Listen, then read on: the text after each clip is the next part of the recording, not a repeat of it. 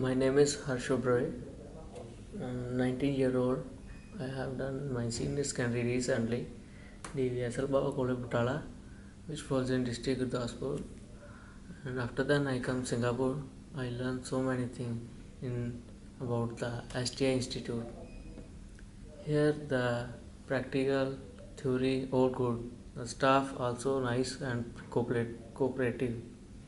So after six months, I go OJT. The college college through I go OJT. I learn so many things such as the how to speak customer, how to serve the customer. I make the coffee, how to make coffee, and after then the my job is the service. After then I extra job I learn the so many things such as the baker. After then the six month OJT finished after then i go back home. After i want now my future planning is i go back india i do IELTS and i go to another country. So thank you